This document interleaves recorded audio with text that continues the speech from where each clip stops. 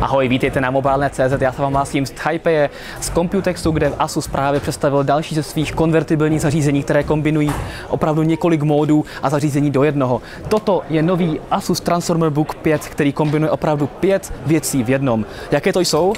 Tak zaprvé tady máme telefon. Jedná se o klasický telefon s Androidem, s HD displejem, to znamená nic e, nějak extra vybaveného, e, který můžete vsunout do tohoto pouzdra, stejně jako předtím u všech dalších e, petfonů, to znamená jedná se o katopý petphone, i když se to jmenuje Transformer. Zde potom po otevření máme tablet.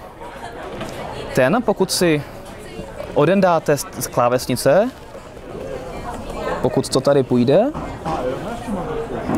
No, nepůjde?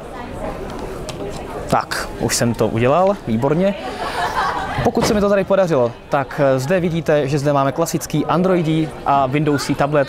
Zde si můžete tedy přepínat, jestli chcete vidět Windows, anebo jestli chcete vidět eh, Android, který se bude brát právě z tohoto telefonu. Eh, z toho vyplývá, že právě i v telefonu, i v této jednotce, tedy i v tabletu, máme samostatné procesory tak, aby i bez připojeného telefonu mohl běžet na tomto tabletu Windows. Pokud ale toto připojíme ještě sem, tak získáme plnohodnotný notebook. Opět s možností se přepínat buď do Androidu, anebo do Windowsu. Na to tady slouží jednoduché tlačítko.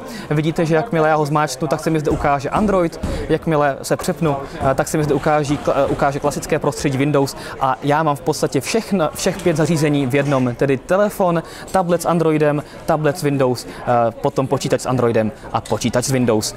Zajímavostí ještě je, že zde na ploše máme, nebo nyní se nám to tady neukazuje, protože asi je něco špatně. Já to tady zkusím zasunout ještě jednou. Uh, tak pokud se nám to za chvilku rozběhne, tak zde potom máme emulovaný, teď už se nám to rozbíhá, emulovaný obraz z Androidního telefonu, který je vsunut na zadní části a dokonce tady můžeme ovládat jednotlivé funkce. Uh, je to spíše pomalejší, uh, někdy to funguje lépe, někdy to funguje hůře, jak ale vidíte, tak nyní to nefunguje. Každopádně ještě před chvilkou to docela dobře fungovalo a pokud jste klikli zde na nějakou ikonku, tak, tak se bez problému e, něco mohlo stát. Je to tedy takový zajímavý koncept, e, není to tedy nějaké nabušené zařízení, spíše je to ukázka toho, co všechno je dneska možné. Ehm, I stejně jako telefon, tak i tablet má pouze HD display. E, uvnitř samozřejmě všechna zařízení mají Intel Atom procesor, tak jak to Asus používá u všech ostatních svých výrobků.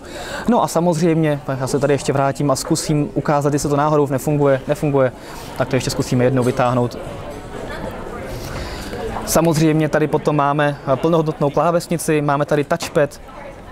Pokud to takto zavřeme, tak se můžeme ještě podívat, jak je vyřešen zadní kloup, který je takovýto masivní, tak aby tu váhu poměrně dobře unesl. Celé to zařízení je hodně těžké, je vidět, že e, zde prostě ten, ty dva procesory a vlastně dva hardwary se prostě někde projevit museli. E, Asus bude prodávat dvě varianty. První varianta bude mít SSD hard disk v klávesnici, e, druhá varianta tam bude mít SSD hard disku ještě normální hard disk pro maximalizaci úložného prostoru a v podstatě pokud se tady podíváme do Windowsu, tak se můžeme podívat, že zde máme, že zde potom máme více hard disků. Tady, tady se, se mi hlásí jenom jeden, to znamená, že to je pouze ta SSD varianta, která má SSD zde a zde tedy žádný hard disk nemáme. Je to tady opravdu hodně zajímavý koncept, co se týče, co se týče a teďka už vidíte, jak mi to funguje, tak znamená, že tady si můžete bez problému telefon ovládat, spouštět různé aplikace, prohlížeč, můžete třeba rovnou udělat hovor eh, vzhledem k tomu, že zde na zadní straně máme reproduktor, který eh, právě využívá eh, telefon a bez problému takto můžete telefonovat.